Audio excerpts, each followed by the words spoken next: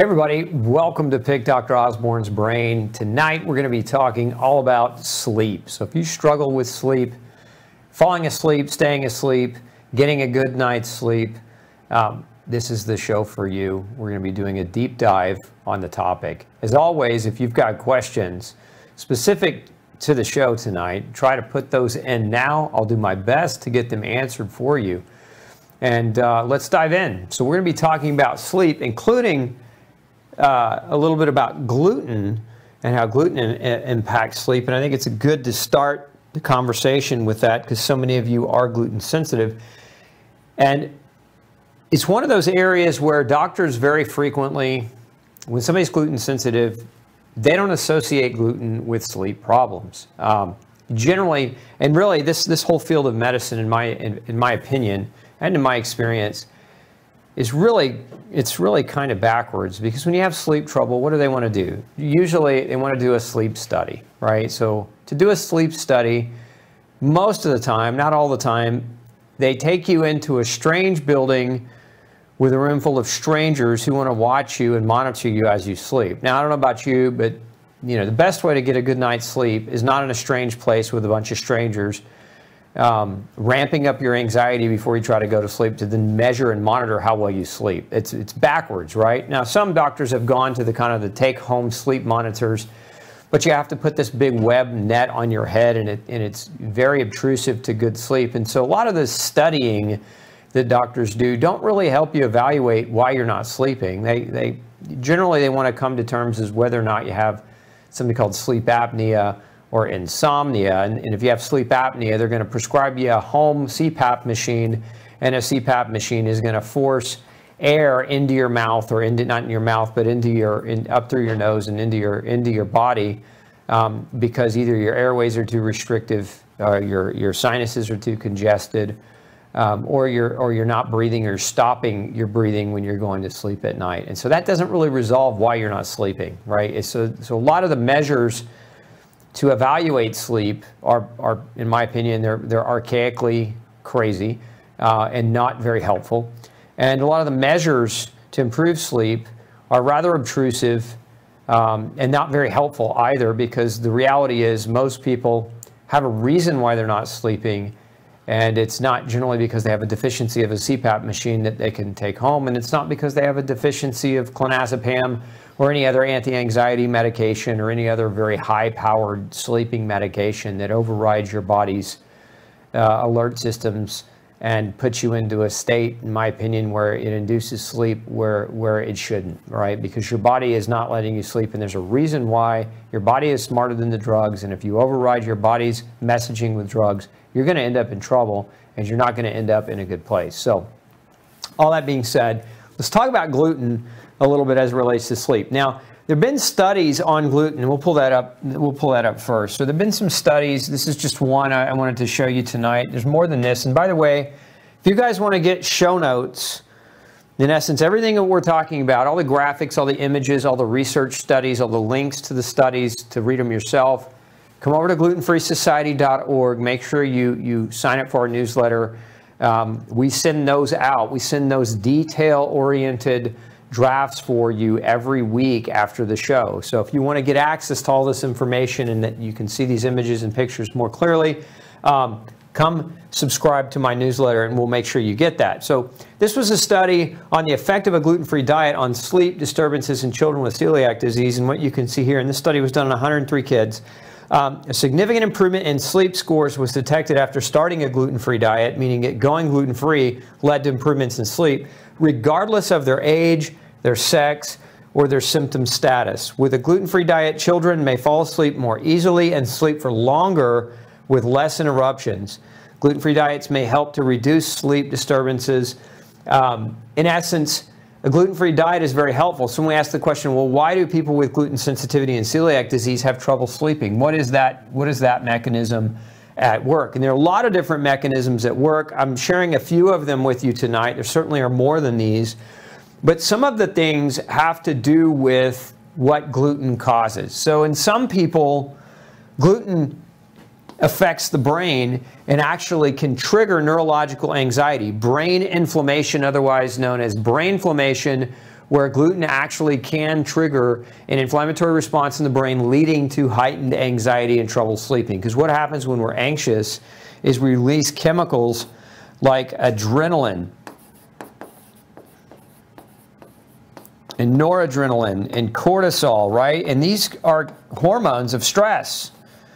This is why we're experiencing anxiety, right? We're producing the hormones of stress, and when we produce the hormones of stress, it's a feed forward cycle, right? Anxiety causes increased cortisol. Cortisol elevation causes increased anxiety. So we have to find out what's causing the anxiety. Well, for many of the people, it's eating food that their body perceives to be a threat and it creates an inflammatory response driving this. So is one of the reasons why for many people, especially those of you who, who had neurological manifestations of gluten exposure, like anxiety or bipolar disease or ADD, Again, neurological manifestations driving anxiety, going gluten free helps that and therefore has an impact on sleep. Another common one that we see that gluten causes is acid reflux. And you know, this is especially true when it comes to the positioning of the body when you're trying to lie down and go to sleep at night. So a lot of times people with persistent acid reflux or really even acid reflux might not even be an accurate term in regards to more specifically GI or stomach lining irritation. So, because a lot of times it's not really regurgitation of acid so much as is the stomach lining is inflamed and irritated, and that feels a lot like what people think is acid reflux, and then it gets misdiagnosed. You go to the doctor, they say it's acid reflux, give you an antacid, right? And then that doesn't really resolve the problem. But the stomach lining itself is irritated and so when you lie down, um, when you lie down at night to try to go to sleep, there's pain there. There's real pain, there's real pressure, and that can interfere with you being able to calm down and relax and be able to get into a sleep situation. So this the pain, right, of that irritation. Then there's also physical pain manifestations in the muscles and in the nerves, and also in the joints. So there's diseases like rheumatological disease, rheumatoid arthritis, um, neuropathies. Um, different types of myopathies where the muscle itself becomes inflamed. So, nerve, muscle, and joint inflammation, we know gluten can cause all three. And so, pain is one of the big causes of an inability to fall asleep. And you get this all the time. People come to see me, they're in a lot of pain, and their sleep is disrupted. And because their sleep is disrupted, they can't heal from the pain. I'm going to short, I'm going to kind of shrink this down because I want to draw your attention to, you know, a, a, kind of a cycle, if you will. So you got, you need sleep in order to heal and repair. And without sleep, you don't repair. And this is when we do this. We do this at night. So our body heals, repairs itself at night. And so we need to repair so that we can recycle cells to continue to function, right? In order to function, what does function mean? Function is to continue to function in the world, right? Your muscles and your nerves and your skin and your bone, all of the cells in your body need this repair work because Cells can be damaged. There are a number of things in the environment can, can damage cells. Radiation, gluten, as we're talking about right now, is one of those things. Other people have food allergies that are related to that damage. Some people are exposed to chemical toxins related to that damage. So you need that repair work, right? And that to recycle cells and to heal and repair the functionality so, so that you can have functionality of your cells. Because what happens if you don't have this, if you don't have repair, is you end up losing function. But not just that, right? You actually lose the ability to heal. So really, losing the ability to heal comes first. So you, you this would be one, and then this would be two. So because when you're not sleeping, you're not healing, you're not repairing, and when you're not repairing, your cells and your tissues become more and more damaged over time. They age more quickly, and they start to lose their ability to function, and then you feel older and you can't heal. Again, you can't repair. And so when you're eating something like gluten, it's creating a vicious cycle where you are in chronic pain and it's disrupting your sleep, the pain that's being caused by the damage from the gluten won't heal if you don't quit eating gluten, but it really also won't heal if you are still in pain and you're not able to sleep. So it creates this vicious cycle where sleep is constantly disrupted.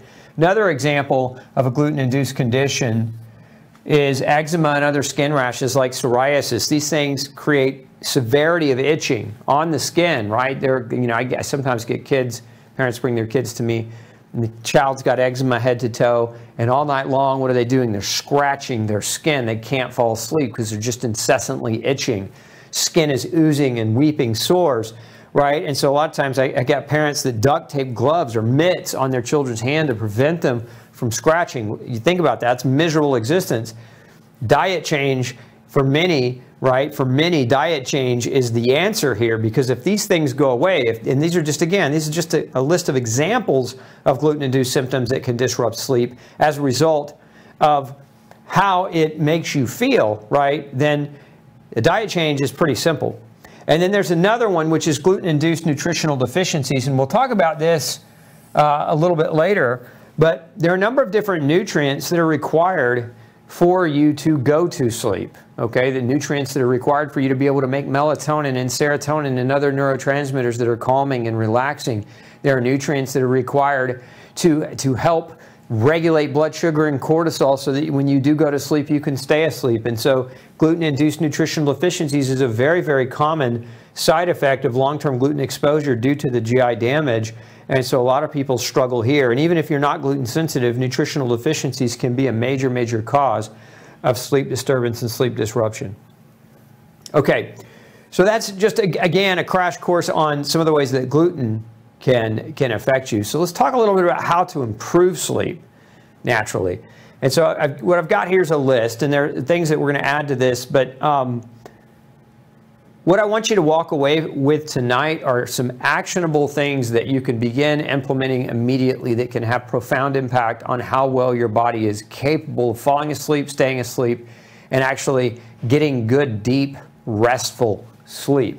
And so, one of the things that in this world, in this day and age today, that people ignore um, because of their lifestyle, right? Or maybe they don't ignore it, but but they don't address it effectively as sunshine exposure. Now, one of the things about sunshine is when light hits your eyes, that allows you to start producing melatonin. Now, melatonin, we want it throughout the course of the day, melatonin slowly increases, right? And then when we get to night, we have we should have enough melatonin, right, that it helps us fall asleep. Melatonin we don't make it as well or efficiently if we're not getting direct sun exposure. And this exposure that needs to happen here is this exposure needs to happen on the eyes. We need the exposure on the eyes. How many of you wear sunglasses when you go outside? What you're basically doing is, is, is in an effort uh, to protect your eyes from what most doctors would say sun solar damage, um, which most of that's nonsense um, you're blocking your body's ability to actually generate melatonin when you're wearing those. So we want that sunshine exposure. That doesn't mean you look directly into the sun and burn your retina, but it does mean that take the sunglasses off and let some natural light in. Your body's designed to work in the world. It's not designed that you need to have all this gear and all this accessories in order to function in the world. And so sunshine exposure's got to be on your number one list of things to do. Now, some of you may go to work early in the dark, right? And, you know, some times of the year, especially winter months, you're leaving to go to work and you're commuting to go to work in the dark. And then by the time you get home, it's already dark. And so in those situations, you got to find time in your day to get outside. And so maybe that's eat your lunch outside. Maybe that's go for a, a walk at lunch but do something every day to get that daily sunshine exposure. The other issue is most of you probably spend way too much time indoors, don't get outside enough, you know, whether it's computers or personal devices. And so the light that you're actually getting is not the sunshine exposure, it's this blue light from screens, this artificial blue light from screens. And that is hugely disruptive of your sleep. And a lot of times, too, that blue light comes at night. You know, either when maybe you're watching TV or, you know, you're, you're we'll just label it PD, your personal devices, whether it's a cell phone or some type of pad of some sort, right? But you're getting that mega blue light exposure right before you're supposed to go to bed. So basically, what you're doing is you're telling your eyes it's daytime, right, when it's supposed to be nighttime, and you're completely throwing your circadian rhythm, rhythm off. And it's important that you minimize any blue lights before bedtime. It's important that you get plenty of sunshine throughout the course of your day. Now, another one that affects you know, that affects people's sleep is stress management. Now, sometimes you can control the stress in your life, and other times you can't, right? Sometimes life throws curveballs. The last two years, most people's lives have been a hellacious curveball, um, displeasant, you know, no matter what your beliefs are. And, and that has been very, very stressful. The world is stressed out right now. But we have to, you know, we have to think about it like this. Pray about the things you can't control and control the things that you know to control. And that's the best way to manage your stress. So, stress management, a big part of stress management is doing everything else on this list because what is stress? Stress comes in three primary flavors. It comes in, in the form of physical stress, in the form of emotional stress, and in the form of chemical stress. So, most of you know what emotional stress is, right? You hang out with the wrong people, maybe, or you have bad relationships, or you go to a job you hate. Um, it all can be very stressful. There certainly there are life stressors in relationships that are emotional, but then there's physical stress, which is either you you sit too much, so there's the lack of physical stress. Remember, we need some physical stress. It's not always too much stress. Sometimes it's an absence of stress in the right place. So physical stress is important, but overtraining and too much physical stress can actually disrupt you as well. And then there's there's physical stress, and then there's chemical stress. And chemical stress has to do with what you eat and so think of it as what you put in your body. The things that your body's exposed to, whether it's food, drugs, whether it's air, light, those kinds of things are biological, chemical stressors. Again, good or bad, we need some uh, good stressors, but managing them. So if you're not drinking enough, if you're not exercising well, if you have a poor diet, right, if you're loading up on caffeine for energy, these are all forms of stress that you're contributing to, and so that's bad stress management. So when we talk about stress management, we're really talking about everything else on the list. And if you're doing all those other things well, then you're managing your stress well. And sometimes life keeps us awake at night because we need to be stressed, because there's something we need to resolve. And so remember, it's not about perfection. It's not about, um, although you shouldn't be going months at a time without sleep, sometimes life throws that curveball your brain has to process it, and it may disrupt your sleep for a few nights. That's not something you want to medicate. That's not something you want to pop, you know, NyQuil over or, or take heavy drugs. Uh, because your brain, when it's trying to process, when it's trying to deal with something, you've got to give it that opportunity. And sometimes that opportunity is when you're lying down in bed at night. Good hydration. Good hydration is very, very important for stress. The electrolytes, a lot of times, if you're cramping, one of the biggest signs of bad hydration is cramping. And a lot of people, this happens to a lot of people at night, especially those of you as you get older than 35, that nighttime cramping in the feet. This is a, a hallmark, a hallmark of electrolyte. Oftentimes is a hydration issue, partly because many of you are over caffeinating Caffeine's a diuretic. Some of you are over alcoholing. Alcohol is also a diuretic. And some of you are just not drinking adequate fluid. And so you don't have great hydration, great electrolytes, and your feet start to cramp when you're lying in bed at night. You got to jump out of bed and stretch them so that they're not cramping, waking you up. And so this is, again, good hydration is very important. Now, if your feet cramp at night, one of the best things you can take for that is a mixture of calcium and magnesium. You know, but but even with this, this may not be the full fix, although sometimes calcium and magnesium deficiencies cause cramping, which can disrupt sleep. Poor hydration can do it too, but aggressive stimulant use will cause calcium and magnesium loss. And then we have exercise, this is especially true of women. Um, and I hope none of you take this the wrong way, ladies, but women are cerebral creatures. That means that a lot of their energy is spent in the brain, it's spent in the mind, you know, milling over how to solve something maybe going on in their life, right? They process and they process and they process. It's one of the differences between men and women. Women hyper process mentally. Men tend not to process mentally enough. Uh, so, so however you want to take that, guys. But women do it can do it to such a point that that hyper processing drives stress and disrupts their sleep. And so, one, for women, one of the most effective ways to improve sleep is through exercise because what that does is it will burn through some of that energy that you're using cerebrally.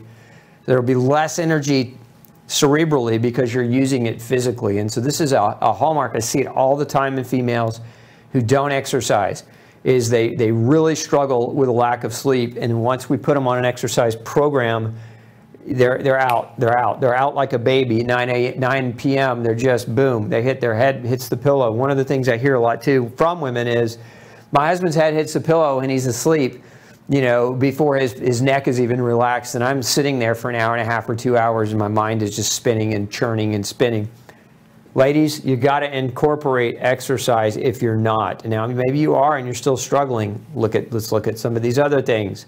Sleep hygiene strategies. What does that look like? A sleep hygiene strategy is you know, focusing on when it's bedtime, not being busy and not thinking about things that are going to stimulate your mind into a stressful situation. If you get in bed and you think about stressful things, and if you have a stressful conversation with your spouse as you're lying in bed, you're going to disrupt your ability to fall asleep because if you stress yourself out right before bed, you're going to, all the hormones of stress, right? The adrenaline, the cortisol, you're now pumping those out.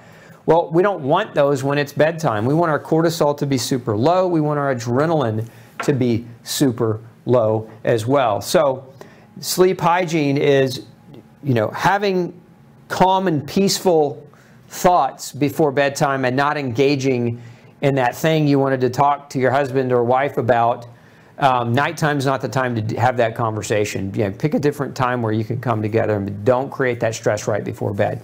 Now, some people with type A personalities do really, really well journaling before they go to bed. And, and there are a number of different things you can do with journaling. Now, it's not like a diary where you write down all your, your daily events so much, but what some people find very helpful is they journal their to-dos. So if you've got a list of things that you need to do tomorrow and your mind is just going through those and you're thinking about those and your mind is focused on those and it's you're supposed to be sleeping, a lot of times writing those things down in a notepad next to your bed allows your mind to let go of those ideas so that your mind can get into a sleep mode. So some people do really well by journaling their to-dos um, right before you go to bed, right before you, that way again, you can let your mind quit thinking about those things.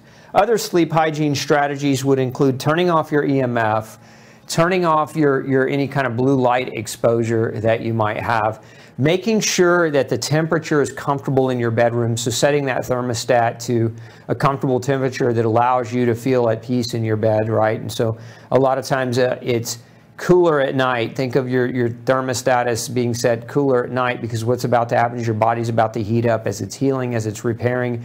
Your metabolism is about to speed up and you're going to get hot under those covers. So a lot of people sleep really, really well between 70 and 72 degrees Fahrenheit. And so if you're setting your thermostat higher, then that might be disruptive of your sleep as well. So those are just some hygiene strategies to think about before getting in bed.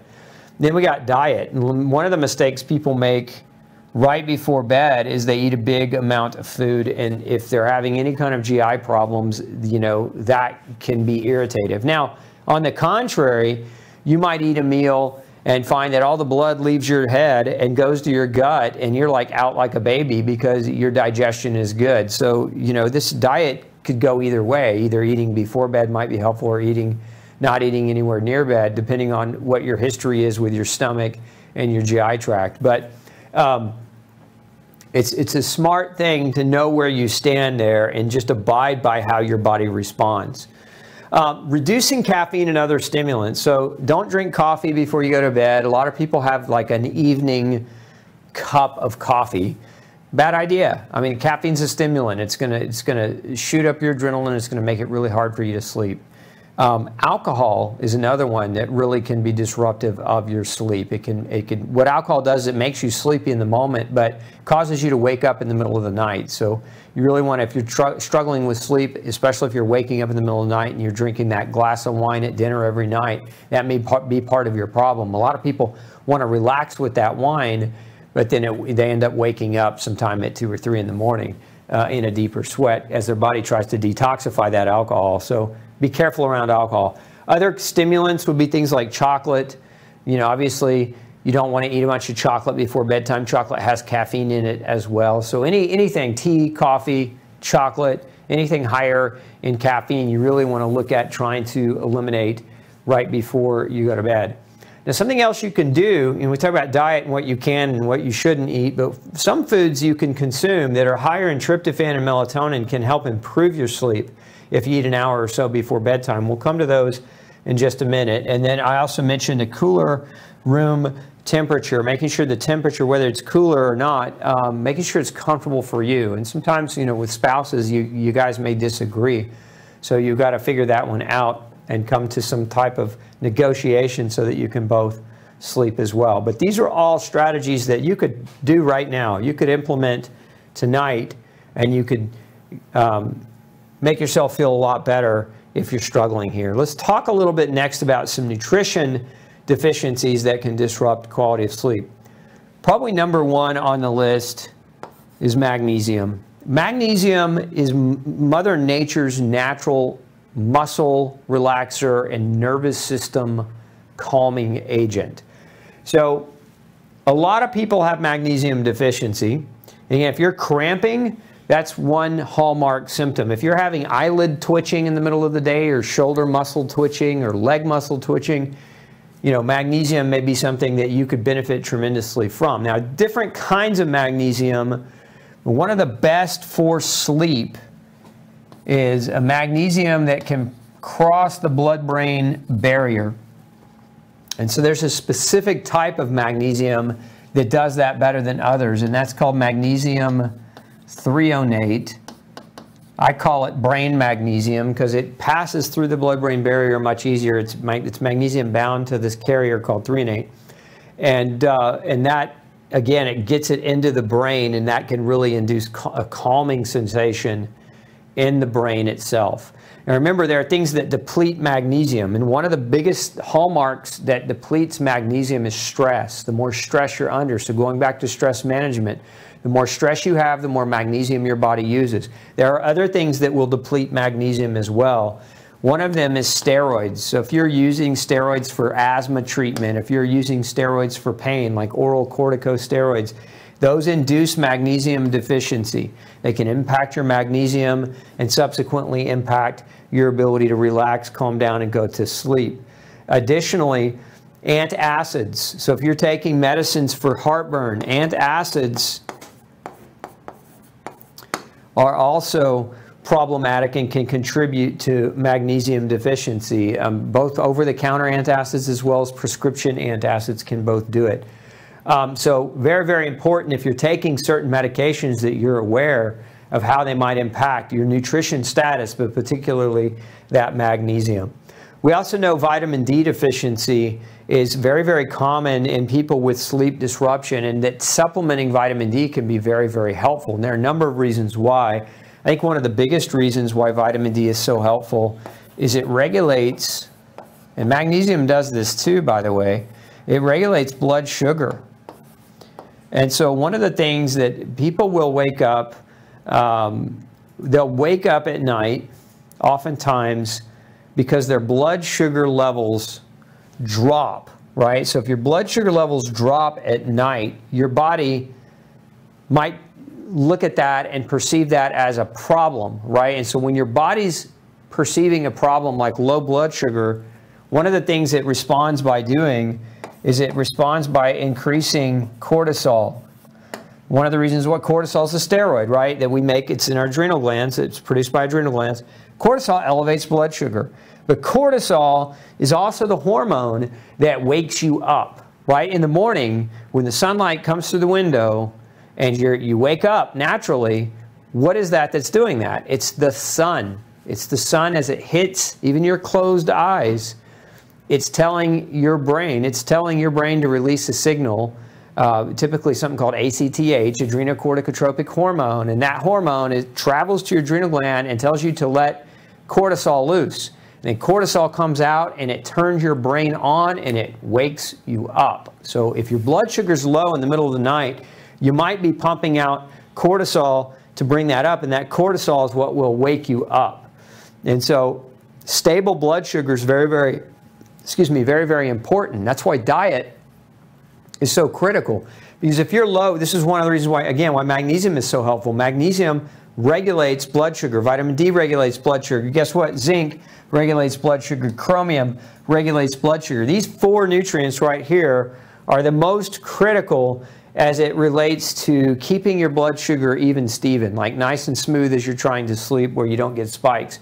And so this is one of the reasons why they're on this list of things that really, really help because most most of us that live in culture, um, you know, we'll just we'll just say in modern society, right? Whether you're in the UK or whether you're in Australia or the US or Canada um, or any other industrialized city, you're eating food, right? That is farmed incorrectly. You're living a stressful life. You're um, you're running and gunning. You probably have some blood sugar function problems, just as a general rule of thumb and so with those blood sugar function problems comes an elevation in cortisol, elevation in insulin, insulin resistance, and sleep disruption. And so again, these nutrients play one of the biggest roles in regulating uh, how well your body controls blood sugar.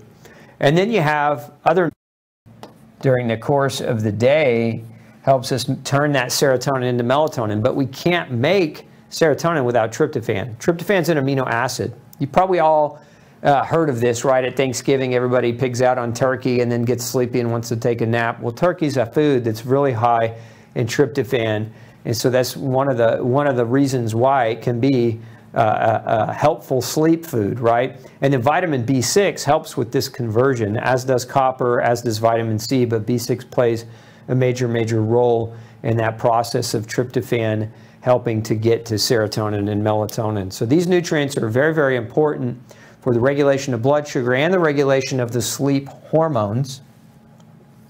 And so you can have them measured. I, I highly encourage you, if you're struggling with sleep, to ask your doctor to measure those nutrients and also other nutrients as well.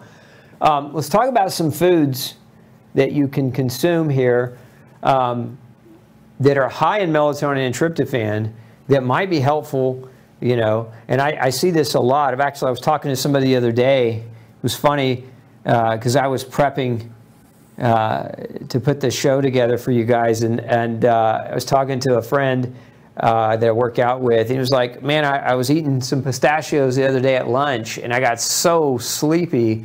He's like, I had to pass out. I had to go lay down. I had to go take a nap. Pistachios are really high in, in tryptophan melatonin, so very good food source pound for pound to help you sleep. So if you were going to consider eating something closer to nighttime to help with that, pistachios is a good choice. Tart cherries, another good choice. Pound for pound, these two probably highest. And then you have some other options down here: bananas, fatty fish, mushrooms. Now dairy too. I, I you know generally I don't put dairy on the list because so many of you are dairy sensitive. If you're gluten sensitive, you're probably dairy sensitive. But this kind of goes back to that warm glass of milk at night to help with going to sleep. It's one of the reasons why is that it's high in these in these um, in these chemicals. And then we have foods absolutely you shouldn't consume before bed. Chocolate being one of them, alcohol being another, coffee and teas being another. So again, I, I mentioned this earlier. Anything that's high in caffeine. Remember, caffeine's a stimulant, and anything that you take that is a stimulant right before bed is a bad idea. And you could add soda to this list, but you've been watching me for any length of time. None of you should be drinking soda anyway. But there are a lot of sports drinks and other things that are high in caffeine, so not just limited to these beverages. So avoid caffeine before bedtime. Okay, and then we have some of the my favorite things. If you're real, if you're doing all of that and you're still struggling um, these are just some additional things that you can incorporate. I, I will say this you don't want to incorporate supplements to rely on your body's ability to fall asleep at night indefinitely. Like you don't want this to be the long-term solution. Generally, the long-term solution to sleep comes in behavior, comes in behavioral change. And what a lot of people do is they say, oh, I don't have time for exercise, or oh, I, I can't get outside. And they don't do the things that they should be doing And so then they become reliant on these types of things. And you don't want to be reliant on these types of things. Now you can use them. And certainly let's say let's say maybe you've been struggling and you're and you're chronically inflamed and you've got a problem. And um, you know you're just trying to fall asleep. You're just trying to get some sleep because life could be so much better if you could just string together you know a week or two weeks of decent sound sleep. And so this is where some of these things can be very very helpful again in that short term interim to help you begin break through that cycle of not repairing of not recovering right so we use these things but we use them judiciously as we change our behaviors as we change our diet to incorporate the, the right elements so that we're not becoming dependent on any of these things. And so, again, these are some of my favorite supplements. Magnesium, probably one of the most effective, especially magnesium threonate. Zinc, very effective. It helps regulate a number of different sleep hormones. If you struggle with kind of a high anxiety mindset when you go to bed at night, GABA, theanine, can be very, very helpful. Tryptophan and 5-HTP, 5-hydroxytryptophan can also be very helpful. Now, if you're taking an SSRI, like Paxil or Prozac for anxiety, you know, prescription medicines, you got to be careful with this. Don't take it without being monitored because you can develop something called hyperserotonin syndrome, which is where you're, you're getting too much serotonin and that can go south too. So you do have to be careful if you're taking those other medicines with tryptophan. And then melatonin, again, short term, where I like to use melatonin is when I'm traveling. So if I'm getting on an airplane and I'm traveling to a time zone that's maybe three hours uh, different from where I live or more, right, I'm going to use melatonin in that first day to try to adapt my circadian rhythm to wherever I'm traveling, and that way I reduce the jet lag uh, and I can get a good night's sleep. But that's so that's one way to use melatonin is when you travel. But you can also use it again. A lot of people get scared of melatonin because they think it's habit forming, and it can be if you if it's your long term solution. It shouldn't be. Remember, this is for short term. Get your sleep, start to heal, and then you can wean these kinds of things off or back.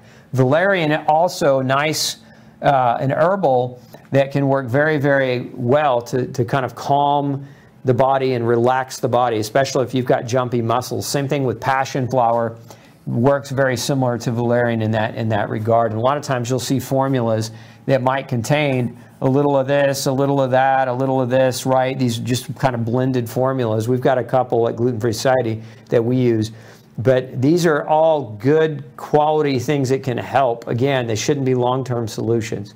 And then the last one is CBD, cannabidiol. Um, this is one, if you, especially if you've got nervous symptoms uh, where, where you're super, super geared and you have um, high, high anxiety and neuropathies, like neural, like restless leg syndrome and that. This is where a really good CBD supplement can be very, very effective at helping calm down the nervous system and activate, um, help activate the parasympathetic nervous system to get you in a state where you're able and better able to fall asleep. So these are, again, all options, but these are all short term. You should be looking for the long term solution in your behavior change in your diet. One of the things that happens, I'm going to talk a little bit more about diet because I think it's important part of this conversation because a lot of what I see people do to go to sleep too is they take something called, oh, let's get a get different color here. Um, they take something called an antihistamine. And if you take an antihistamine, antihistamines make people sleepy, a lot of people sleepy. One of the reasons why is what is histamine? Histamine is a biogenic amine.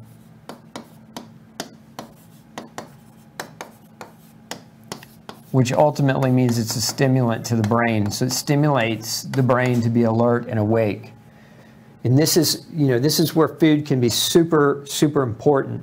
Because if you're eating food that you're reacting to, that you're allergic to, and it's driving up your histamine, right, which is a stimulant, now you're trying to go to sleep and you've got all this excessive histamine that you've produced and you can't sleep because histamine is very, very powerful. And so then you get go over to the store and get you some Benadryl or something like that, and you start popping the antihistamine, and you start sleeping. And I've seen people get addicted to antihistamines because of this very thing. Remember, if you change your diet, it take you a long way toward improving. Now, one of the other main causes that I see of elevations in histamine is mold.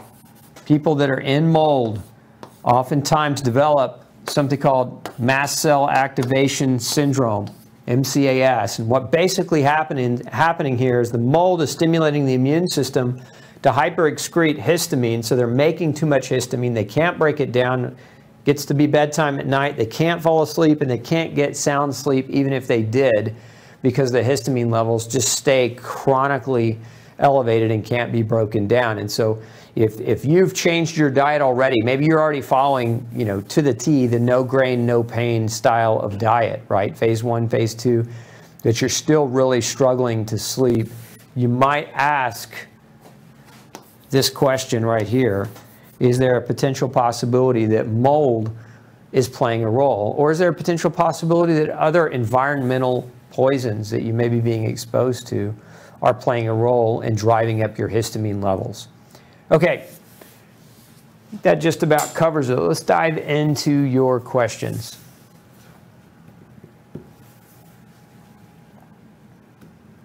Uh, let's see here. Can poor sleep cause AFib, or could it be a dietary issue? Linda wants to know. Both. Um, it could be either one. Actually had, it's funny, no, it's, it's not funny, it's scary more than anything. I had a, I had a client um, just a few weeks ago. Her doctors wanted to do ablation surgery on her heart. Basically, they wanted to destroy part of the nervous system in her heart because of AFib.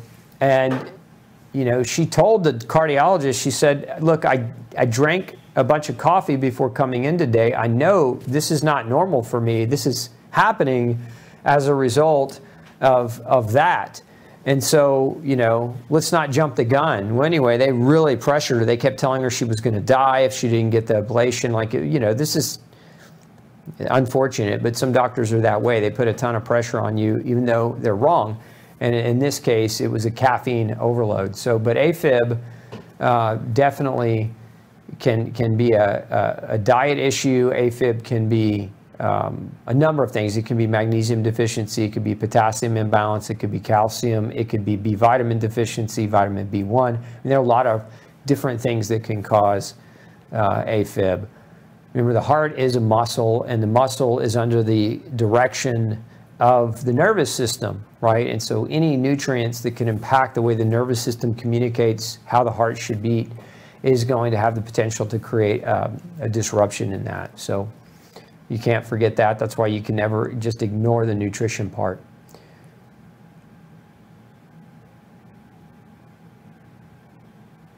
Could walking, I'm trying to understand this question, could walking between two and four be due to histamine or cortisol release. Oh, waking, sorry, I thought it said walking. Could waking between 2 and 4 be to, due to histamine or cortisol release? Could be.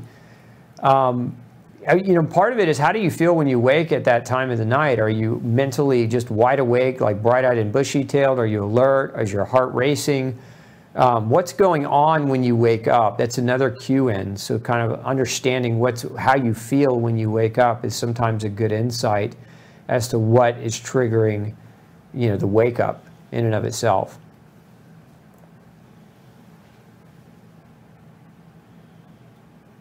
Uh, let's see here.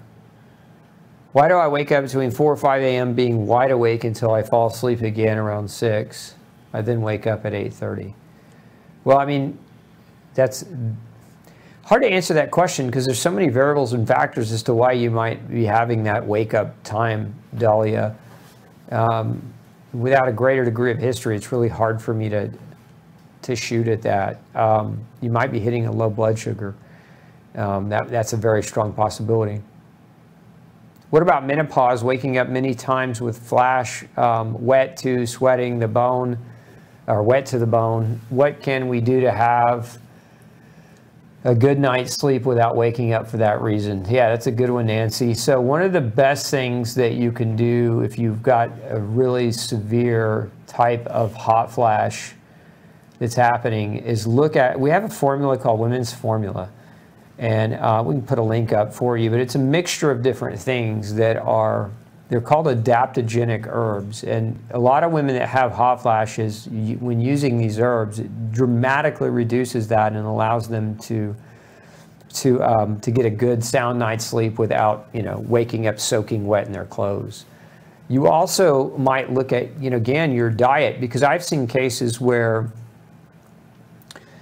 where women were having symptoms of what we what we call menopause, but really what was happening was their diet was bad or their thyroid medicine was too strong. So there are other things that can contribute to that.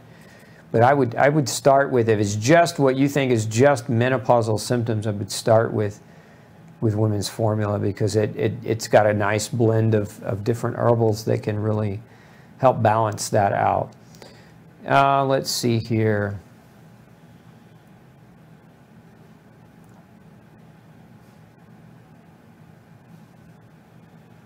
Thyroid issues for years now. Stopped eating wheat, dairy, and sugar. I've suffered insomnia for years now. What can I use to fix my thyroid? So Hazel, I, would say, I don't, I, you know, I don't know whether or not you're on thyroid medication, but I can just comment to this. Um, I see a lot of times where women in particular who've been diagnosed with hypothyroidism and they're being treated with thyroid hormone and, and there are two scenarios here. One scenario is where they're being treated because they have um, abnormal thyroid hormone numbers, like their doctor's measuring their TSH, their T3, their T4, and they're medicating and checking their dose periodically every three to six months or so.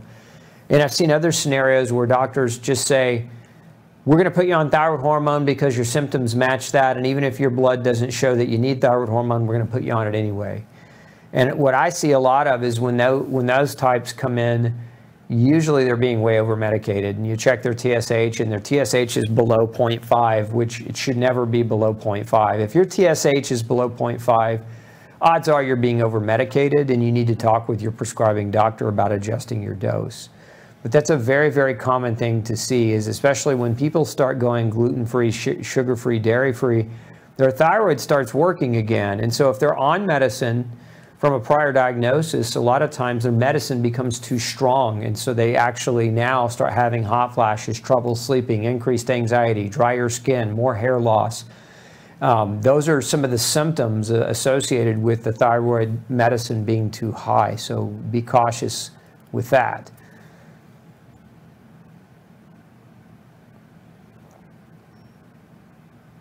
Let's see. What causes night sweats? Lots of different things. Um, one of the one of the biggest is, is overdose of medications. Another one, alcohol is a big one that causes night sweats. Eating too large of a meal too late in the day can cause you to wake up in sweats. Hormonal disruptions can cause night sweats. Is it, so Dennis wants to know, is it true that women need two hours of sleep more than men per night? Yes and no. I'd say one, it depends on the woman. It depends on the day of that that the woman like like the level of physical exertion um, that the woman exerts through the course of her day. Um, you know, like like I would say, if a woman was crossfitting and a man was crossfitting, that woman should definitely uh, probably get err on the side of more sleep to heal and repair and recover. As a general rule of thumb, again, this is just a it's just a sex difference between men and women. Men are more physically capable of handling stress. So the more stress a woman gets put under, you know, beyond what is maybe typical, she should increase her sleep to recover from that increase in stress. So again, it's it's not I wouldn't say all women need two more hours a night sleep than men. I would say it depends on their lifestyle and what they're doing.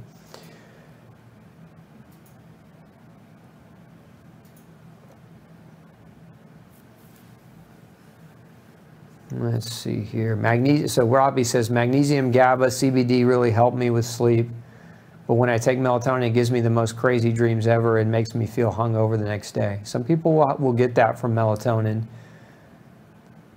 And, and the same can be true as well of, of magnesium, the magnesium three threonate. I, we call them ninja dreams because what I see happen in a lot of people is they have very vivid dreams. And sometimes those vivid dreams are nightmares and they can be kind of scary. Um, but generally when you dream that's a good sign you're getting deeper more restful sleep. If you're not ever dreaming you know you would you would you probably want to think about um, how deep and restful your sleep actually is. Uh, and that's what sally's question is is it unusual not to dream when you do get to sleep? Yeah it is it should be. Um, dreaming is is an important part uh, of your sleep cycle. And so although it's not unusual, Sally, it's it's also not ideal. And so you definitely one of the I can tell you one of the things that can really help with dreams, uh, if you if you sleep every night and you never dream, one of the things that that works brilliantly and can improve your quality of sleep is choline plus vitamin B1. Um, choline and vitamin B1 together produce acetylcholine, which is a primary neurotransmitter of your parasympathetic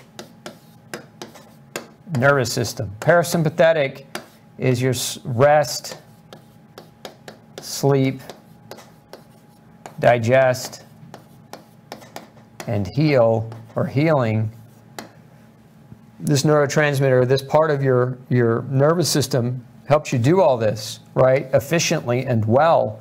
And if you don't have adequate choline or B1, you can disrupt or reduce your acetylcholine, which can affect the way you rest, sleep, digest, and heal. But I have seen more people report dreaming, having dreams again with choline and B1. So if you're not dreaming at all, you might just consider that combination.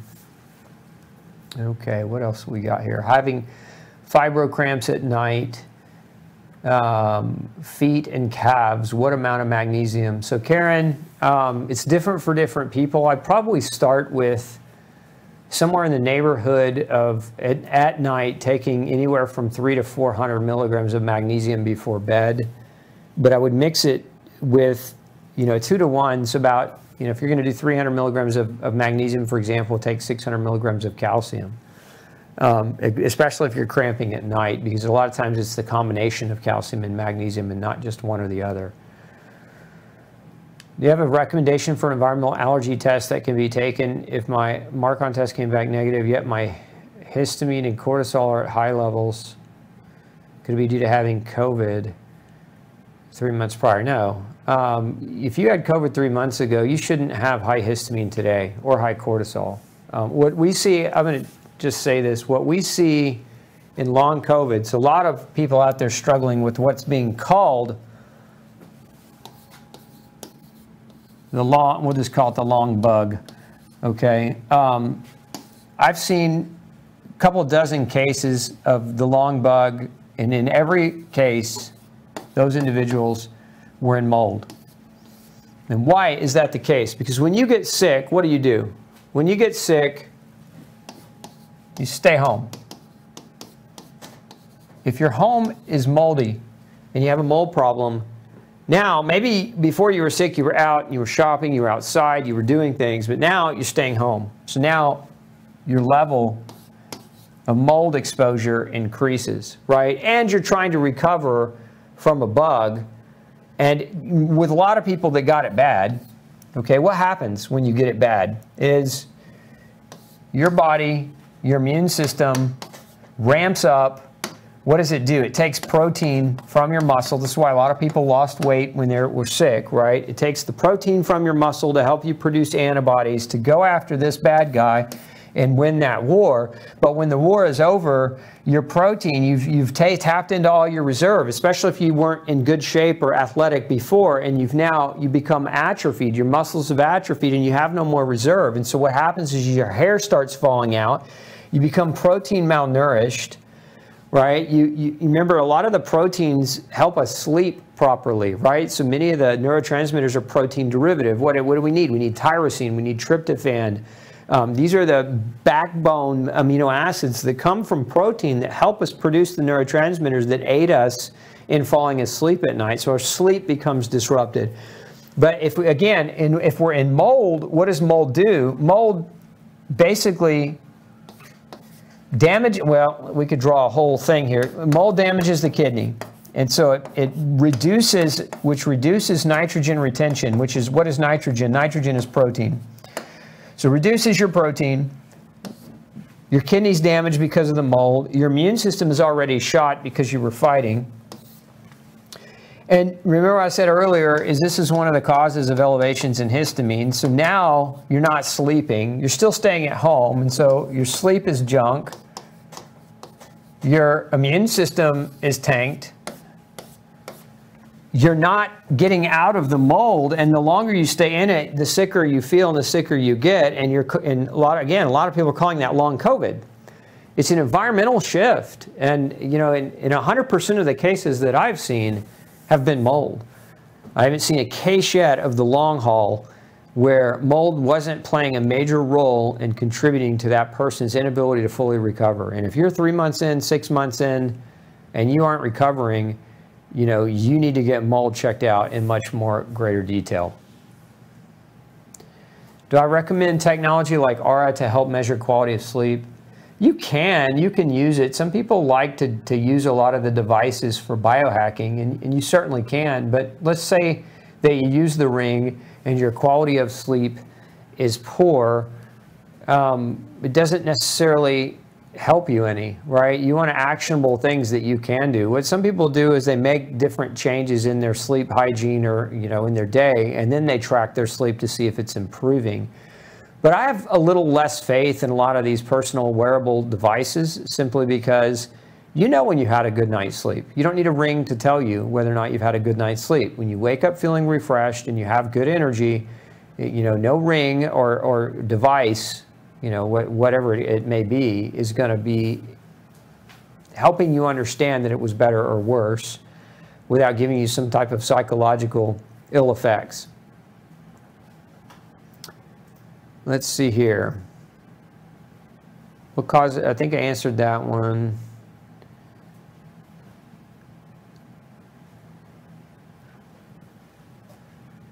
Eating blueberries, I dream again. Thanks for sharing. So Susan says that eating blueberries, she's starting to dream. Uh, let's see, back it up just a little bit.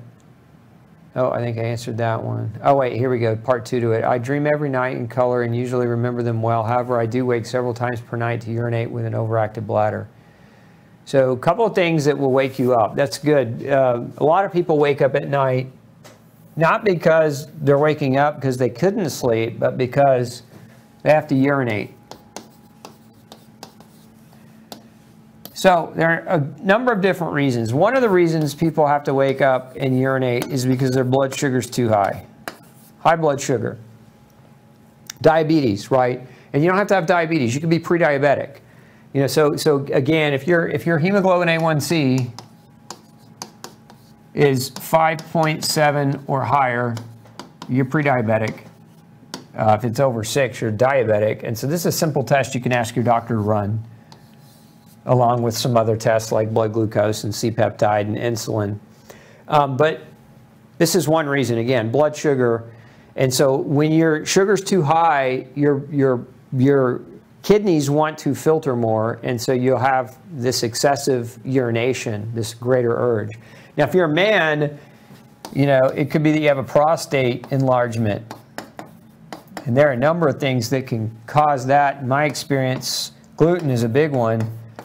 Um, I've seen cases where zinc deficiency and B12, um, you know, supplementation really, really were helpful in the, the prostate. Some also take things like saw palmetto as su prostate support supplements that have been shown to have some improvement. But um, benign prostatic hypertrophy or enlarged prostate can be a reason because it puts pressure uh, on the ureter and, and, the bladder makes men need to wake up more frequently to go to the bathroom. And so again, catch this early because if it becomes too big, it can be really become a problem. Another thing that I see is toxic burden. Any kind of environmental or food-based toxic burden. Remember, when you have a toxic burden in your bloodstream, you you put pressure on the kidneys to filter. When you increase the kidneys workload, what you're basically going to do is the kidney's going to crank out more urine. And so you're going to have to go to the bathroom more. When I was, one, one of, and one of the big things here is mold. Like I, I was in toxic mold. And one of the things I found with myself personally is I was waking up three times a night that I'd have to go to the bathroom and my sleep was miserable. Uh, and that was one of my clue-ins as to why I was being exposed. But um, it's not doesn't have to just be mold. It can be other toxins as well. It can be food toxins. It can be other chemical toxins. But anything that increases the work of your kidneys, then you have to realize that that your kidneys are going to try to filter better for you, and so you're going to have more urine output as a result of that increased filtration.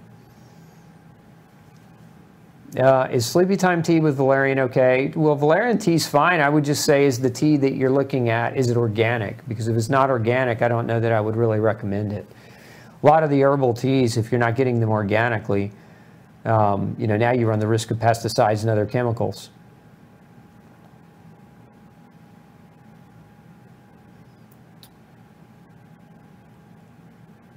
Let's see here. Scroll down on that right just a little bit more.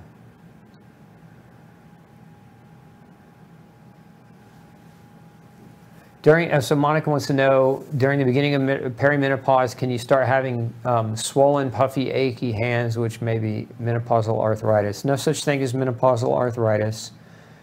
Somebody told you a line, hook line on that. Um, if you've got swollen, puffy hands and feet uh, in arthritic pain, you've got something that is irritating your body. You need to get it checked out, Monica. I'd recommend working with somebody who understands functional nutrition.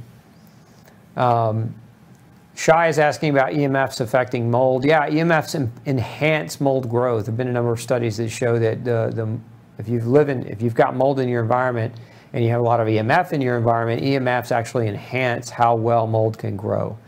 So EMFs not good.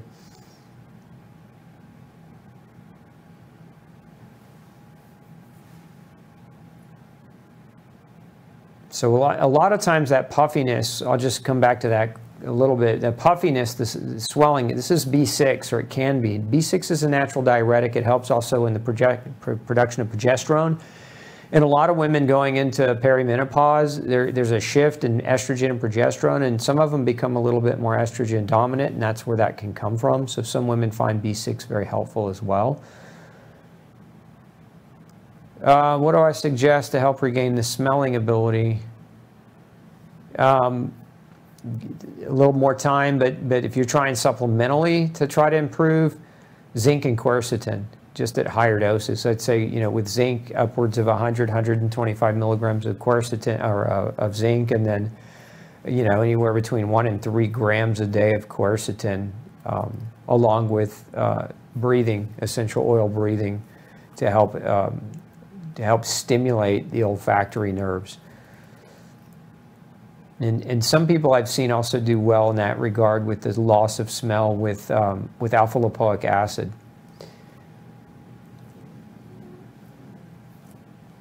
Yeah, so I wake up thirsty with hot flashes. If I drink, I pee all night. If I don't, I can't sleep. Now I gain four pounds because I don't sleep. Um, you got a deeper problem, most likely, Nancy, and so that you really probably ought to follow up with somebody and get kind of a, a deeper biochemical workup done uh, because, you know, that's a catch-22, right? Thirsty, you need to drink. You can't drink because you pee. You can't, you can't sleep either way. You got to get it figured out because if you're not sleeping, um, you're going to have a problem. Stacy asked, I'm always told that calcium's not a good supplement to take because it can build up in your arteries. No, I mean, it can, but generally calcium doesn't build up in your arteries. Calcium just doesn't say, hey, the artery is my favorite place to hang out. Where, where calcium ends up in your arteries if you have infl inflamed blood vessels. So if you're eating poorly, um, a, a, you know, sugar hydrogenated oils, if you're gluten sensitive and, and your blood vessels are inflamed, your body will deposit calcium in those patches of inflammation in an effort to try to basically patch over that blood vessel. But that's not because you're just using calcium in general. Calcium deposits in arterial linings or walls are not as a result of taking calcium supplements unless you have some major pituitary gland problems or, or um, parathyroid gland problems. That, that shouldn't, you know, that, that shouldn't happen just in general from taking calcium supplementation.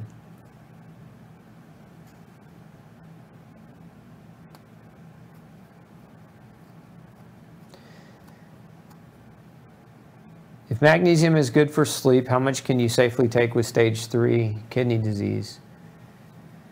I mean, you should be fine. You always ask your nephrologist, but um, you know, you know, if you're talking about a little bit of magnesium before bed, two, three hundred milligrams should be perfectly fine, even if you have stage three.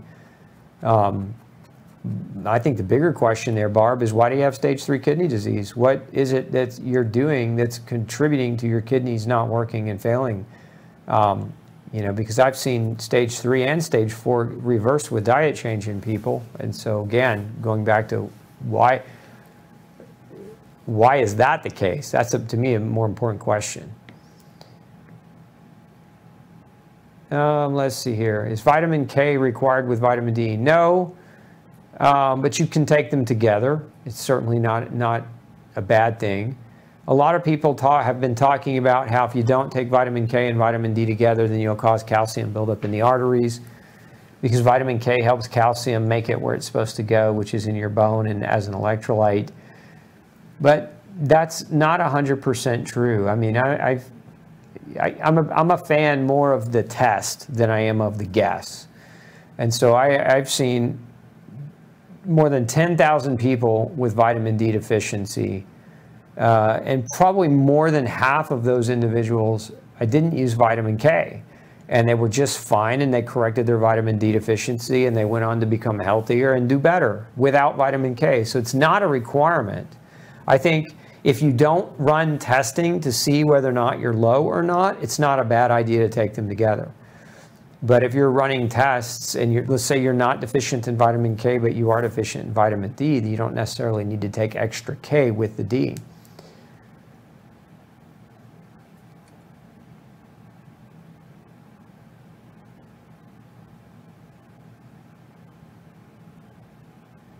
Okay.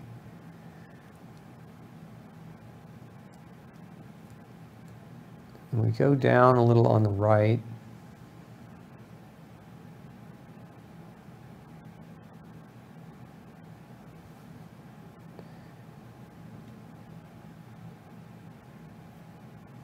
A little bit more. Okay, there it is. So, but how would we stop our blood sugar from dropping while we sleep?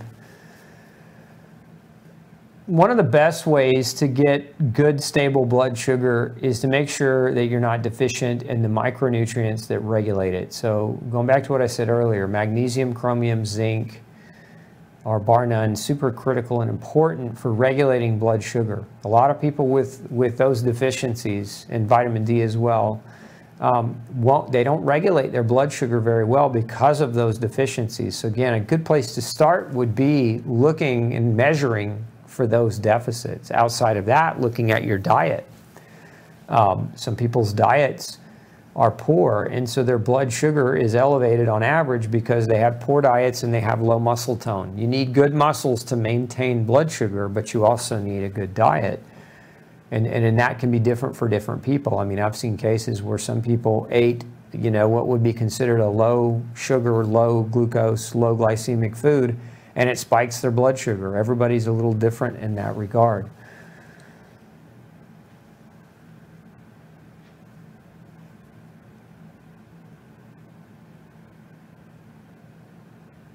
Good food source of zinc, um, any meat. Any meat is a good source of zinc. Zinc comes in, in a lot of different meats and nuts as well.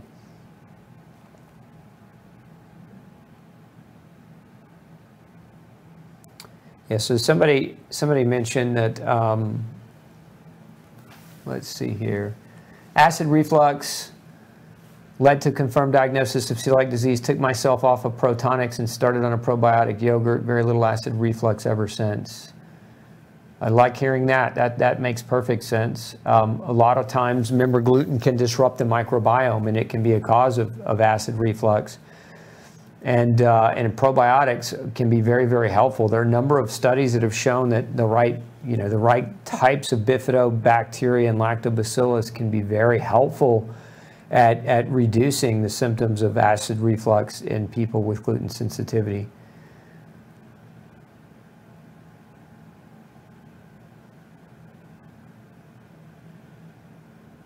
Supplements that help with mold. Deborah, the number one thing you can do if you've got a mold problem is get out of the mold. Um, all the supplements in the world won't fix the poisoning. It's kind of like, you know, if mold is your problem and you don't get out of it, you can take vitamins, you can take minerals, you can take binders, but you're just spinning your wheels and you're spending a lot of money on supplements that are probably not going to have a very good outcome for you. I do have supplements that help with mold, that being said, but again, before you used any of them, I would highly suggest getting out of the mold if you're not already. Um, one of the things we use is a binder called uh, Mycobinder, Mycobinder Plus, and it's um, a mixture of different things like zeolite and charcoal and fulvic acid can be very, very helpful as a binding agent. And we also use other things for mold. Some of the most helpful things be like alpha lipoic acid, um, as well as vitamin C. Uh, very, very helpful if you're trying to recover from, from mold exposure, from chronic you know, mold exposure. Uh, and a number of other things, but I would really suggest if you're struggling in that arena to really follow up with somebody who knows how to guide you. Is too much B6 toxic? In very, very, very, very, look, I've been practicing 21 years, Amelie, and I've seen one case of B6 toxicity, one. And I've used high doses of B6 in thousands and thousands of people. So can it be toxic? Yes. Is it common? Extremely uncommon. Let's see.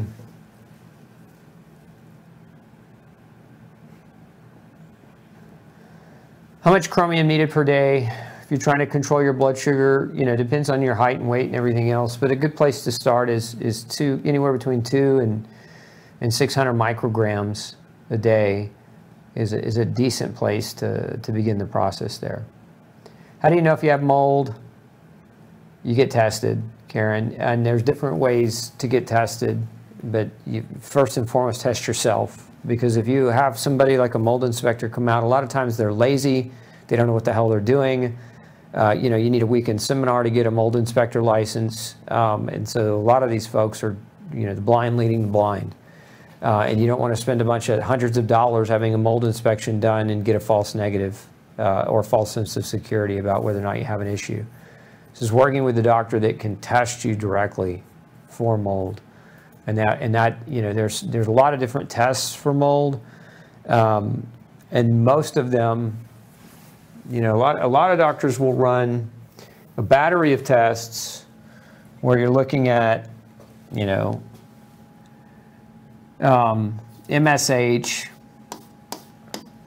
Uh, there's another one called transforming growth factor beta 1 and there, there's other ones like mmp there and and so these tests are being used by a lot of doctors as you have mold. But that's not what these tests mean. These tests don't mean if they're positive, right? These tests don't mean you have mold. These tests mean that you have chronic inflammation. There's a lot of things that cause chronic inflammation. A lot of things. And it's not that these tests can't be helpful, but in the reality is, is they're not specific to mold. And so maybe that those tests are elevated because you have chronic inflammation because you're not gluten free or because you're allergic to dairy or because you're reacting to sugar or because you're reacting to some other uh, umpteen different foods that you might be eating that are driving the inflammatory process. So these again, when it comes to mold, you don't ever want to run tests that are non-specific because they require a degree of guesswork. And when it comes to mold, you know what the reality of mold is if you got mold in your house, that's poisoning you and killing you slowly, you need to understand exactly whether or not it's mold. If you run a bunch of non-specific tests, you don't know exact. You don't know whether mold is part of your problem or not. You speculate. It's a hell of a hard decision to make whether you should leave your house or stay in your house based on speculative testing. So you got to get super accurate and run the right kinds of tests that are specific for whether you're in mold. And, and one of the best is to run, ask your doctor to run a test that measures mycotoxins. Mycotoxins, because if you're overloaded with mycotoxins, specific ones in particular, um, you've got a mold problem. If you're not, you, you probably don't have a mold problem. And so, but it's important to work with a doctor if you're going to do this who understands mycotoxins, understands um, provocation of mycotoxins, under, understands which types of tests to look at here, which ones actually to run, because there are different types of mycotoxins that can be measured. And so, you know, again, working with somebody who knows what the hell they're talking about, in my opinion, is the most important thing to do and to, to get to a point where you're not speculating about maybe it is or maybe it isn't. Okay. And that's, that's another one that doesn't, it's not a Marcon, this is another one. So MARCoNS is not a mold test. MARCoNS, what that, those of you who may or may not know, Marcon stands for multi-antibiotic resistant coagulase negative staph. That's why we just abbreviate it and say MARCoNS. But it's a specific nasal swab that measures a type of staphylococcus that can inhabit your sinus cavities which is a common type of staph that some people have if they're immunosuppressed. Now, mold isn't, it can cause immunosuppression, but it isn't the only thing that can cause immunosuppression. So when you have a positive mark on it doesn't mean you're in mold. It's speculative, at best speculative, because a lot of people have coagulase negative staph in their sinus cavities, but are not in moldy environments. And so again, you can't use that test to justify, do I need to move out of my house? Do I need to pay thousands of dollars for mold remediation? I, can't emphasize that enough, when, especially because mold is a major problem. I mean, mold is, in my opinion, um, you know, I go back in time 21 years ago when I first started practice, and nobody had ever heard the term gluten sensitivity. And, you know, here, uh, not just myself, but myself and a, a, small handful of other doctors across the world were really the ones that brought the attention to this area. And today, it's a household item. It's a household word. Everybody across the country, everybody in the world, for the most part, in industrialized countries, knows what gluten and gluten-free means. Even if their definitions are wrong, they still have heard the word. This is where we're going to be in the next 10 to 15 years with mold. We have terrible infrastructure. Um, we have we have basically an entire building industry. An entire industry has failed us in building homes that are safe and that keep uh, moisture out and that keep mold from growing. And so we have a huge infrastructure problem of homes where mold is growing and it has grown in them and is slowly just killing people over time. And we're going to see more and more about this. Mark my words, I'm predicting the future. Um, in, in the next five to 10 years, you're going to see and hear a lot more about toxic mold because it is a major, major health issue for many of you, and you don't even know it yet. Okay.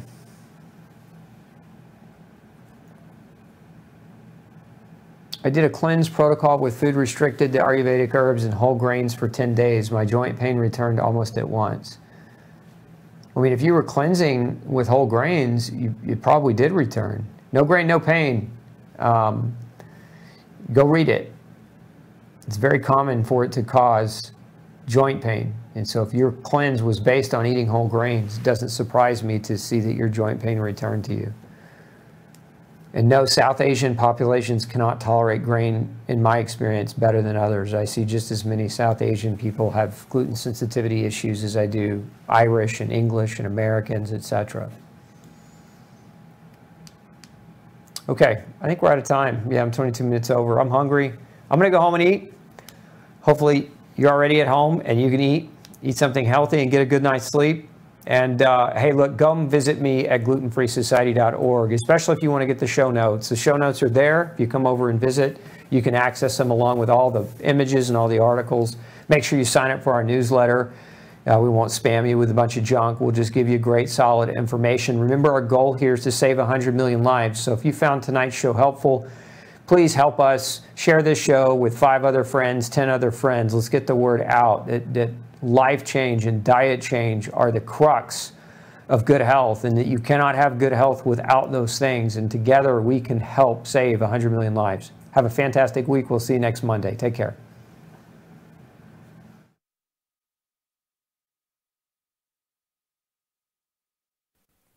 Hey, don't forget to tune in next week, same time, 6 p.m. Central Standard Time, for another Pick Dr. Osborne's Brain show. Bring all your toughest health questions to me. I look forward to answering them. And before you leave today, make sure you hit subscribe. And once you do, click that bell. That bell is going to allow us to remind you right before we go live, but it's also going to allow us to remind you when we come out with other video content all week long. We've got lots of episodes coming your way all week long, and I don't want you to miss anything. So, again, subscribe, hit that bell so that you can get notified when we have that new information put up for you. Thanks so much, and I'm wishing you excellent health. Have a great week. We'll see you next Monday night.